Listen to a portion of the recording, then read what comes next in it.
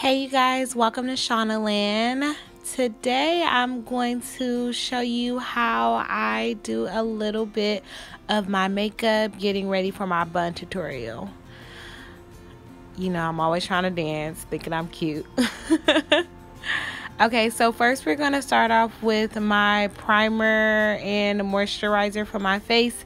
Adds a little bit of glitter and shimmer Make sure my skin is hydrated. I have very dry skin. Fix my little earring. So you shape up the little bit of eyebrows I do have. I'm using um, a cream eyebrow enhancer. Using my angle brush. I draw mine on super thick because it'll give me more room to shape them and space them out. Get the other one touched up.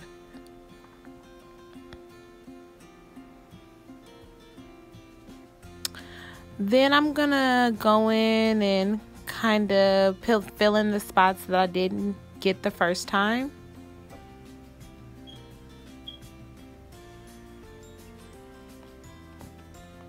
Okay, so I'm going to go in with my MAC concealer. And I use a really thin angle brush for this process.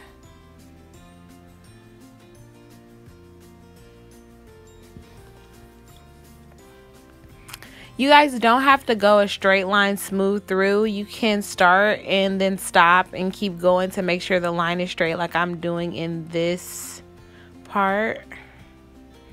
See how sharp that eyebrow is? I draw them thick, but I get them thinner at the end. Same thing on the other side. I'm a little better on that side, so it'll be a little bit smoother.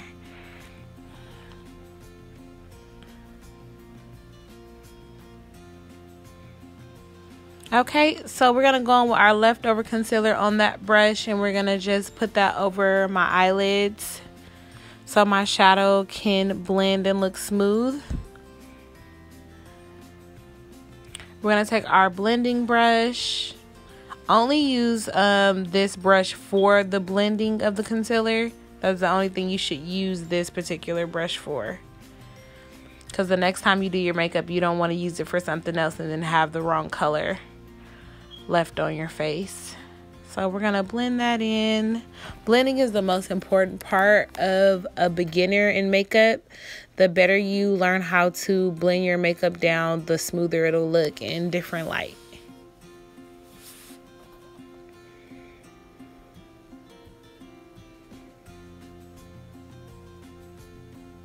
Okay, so I'm going to go in with this Shimmer Bare Mineral um, eyeshadow.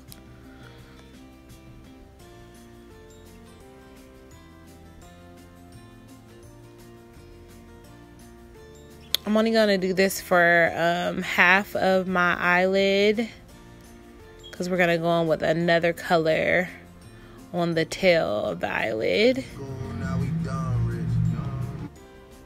The good thing about having the concealer underneath um, when you're putting on your shadow, this helps your shadow not crease. A lot of people want to know how my shadow is never creased because I have my concealer underneath. Now we're going to go in with the second color, which is a bronze from a new palette I got a couple of years ago.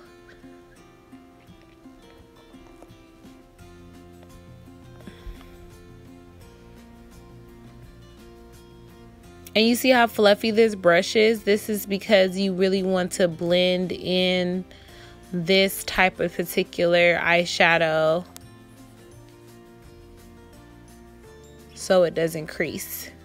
Now we're going to go on with my NYX glitter glue. This can be used for the lips or even um, other parts of the face like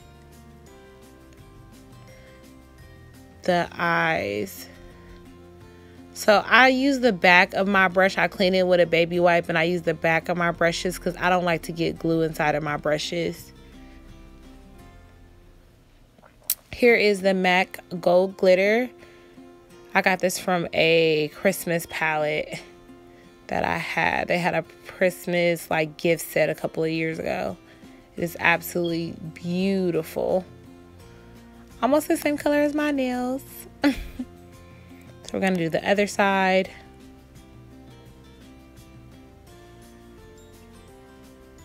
Yeah, like that? All right, we rolling.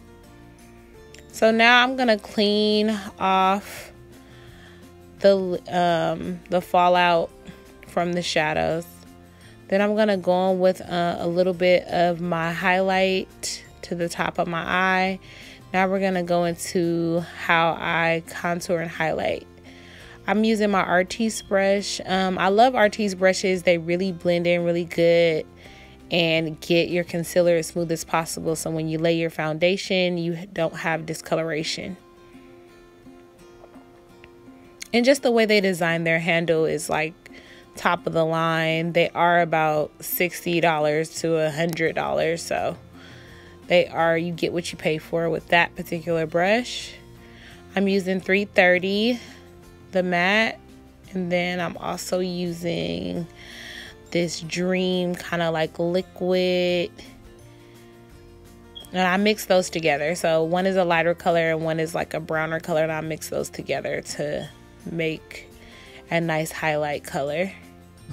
Then I take my 355, which is the a darker than my skin color to do my contouring.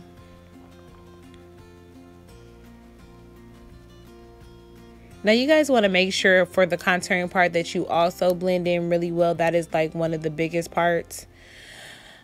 Do a little mascara. Sing a little. Now I'm going to go in with another brush to blend my contour and highlight together. Do a little bit of my metallic lip stick I'm going to go in with that shadow we were using earlier to make my lips really pop. To give it a more like pink metallic look. I'm going to get to this hair next. Don't worry. Because it ain't happening. So now I'm going to go in with my highlight so finishing up this look, adding a little bit more get highlight. the top of my cheeks, get my chin, my nose. And then gotta do something to this hair. So my, this is right how my bun turned my out.